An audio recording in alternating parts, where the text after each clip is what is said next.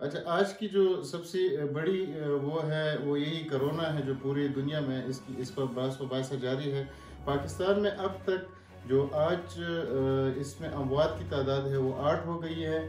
اور آج ایک بندہ پنڈی میں فوت ہو گیا تھا۔ اس سے کل جو ہے، وہ ایک اور بھی بندہ وہ ہو گیا تھا۔ تو کل ملا کے آج آٹھ افراد پاکستان میں وہ ہو گئے اور اس کے علاوہ پورے پاکستان میں ایک ہزار انسٹھ لوگ جو ہے وہ اس سے امپیکٹڈ ہے جس میں سب سے زیادہ تعداد جو ہے وہ سندھ کی ہے۔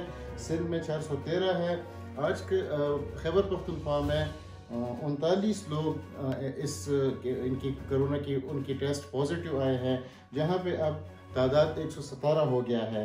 اسی طرح پنجاب میں تین سو بارہ ہے۔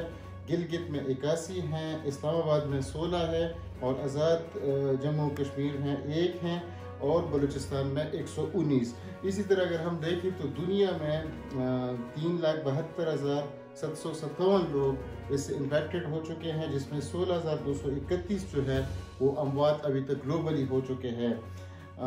یہاں پہ ہم دیکھیں تو سب سے زیادہ جو اس کرونا سے متاثر ہوا ملک ہے وہ چائنا ہے، اس کی دوسری نمبر پہ اٹلی ہے پھر یو ایس ہے، پھر فرانس، اسپین ہے۔ اب یہاں پہ باس یہ ہو رہا ہے پاکستان میں، آج جو ہم دیکھتے رہے کہ کشمکش ہے، حکومت اور صوبائی حکومتوں کے مابین اور عوام بھی ایک کنفیوژن کا شکار ہے۔ حکومت جو ہے وہ کمپلیٹ لاک ڈاؤن نہیں کر رہی ہے۔ جبکہ صوبائی حکومتوں نے لاک ڈاؤن کر دیا ہے۔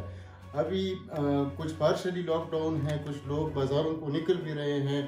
تو یہ ایک بہت بڑا کنفیوژن ہے۔ حکومت یہ کہتی ہے کہ اگر جب ہم نے کرفیو جیسی سچویشن لگا دی ہے ملک میں، جب پورا لاک ڈاؤن کریں گے، تو جب ہم اس میں وقفہ کریں گے، جو اگر چوبیس گھنٹے میں آپ دو گھنٹے کے لیے لوگوں کو وہ کر دیتے ہیں کہ وہ اپنے لیے شاپنگ کریں، تو پھر ایک بہت بڑا مجمع جمع ہو جاتا ہے، جس سے اس وائرس کے پھیلنے کی اور بھی بہت زیادہ چانسز ہیں۔ تو وہ کمپلیٹ لاک ڈاؤن سے ابھی تک وہ حکومت پیسہ نہیں کر رہی ہے اور ساتھ وہ ٹرانسپورٹ بھی نہیں بند کر رہی ہے، جو انٹر پروونشل ٹرانسپورٹ ہے یا جو وہ ہیں، وہ بھی کہتے حکومت کا یہی موقف ہے کہ وہ چلتا رہے کیونکہ جب پورا ٹرانسپورٹ بند ہوگا تو اس میں پھر خوراکی مواد جو ہے وہ ایک جگہ سے دوسری جگہ کو نہیں پہنچ سکے گا۔ آج ہم نے دیکھا کہ پورے ملک میں بہت سے جو وہ تھے جگہ تھے، وہاں پہ بہت جگہ پہ لاک ڈاؤن پہ لوگوں نے بہت زیادہ عمل بھی کیا ہے۔ لیکن پھر بھی احتیاط کی ضرورت ہے، یہ بیماری ایسی ہے کہ یہ آپ کو کرونا کا مریض نظر نہیں آتا، آپ اس کو پہچان نہیں سکتے۔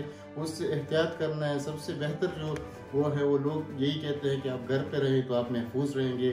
تو اسی پہ اگر عمل کیا جائے، کیونکہ پاکستانی سوسائٹی میں اگر یہ پرلانگ ہو جاتا ہے، اگر ہم نے ابھی احتیاط نہ کیا، اس کو کنٹرول نہ کیا تو میرے خیال میں یہ پھر بہت مشکل ہو جائے گا مستقبل میں اس کو کنٹرول کرنا اور پاکستان میں چونکہ غربت بہت زیادہ ہے، تو یہاں پہ جب لوگ کام نہیں کریں گے تو ان کو خوراک نہیں ملے گا، تو یہ بہت بڑا ایک المیہ ہمارے لیے ثابت ہوگا۔ تو اس لیے ضروری ہے کہ ہم ابھی اس کو کنٹرول کریں۔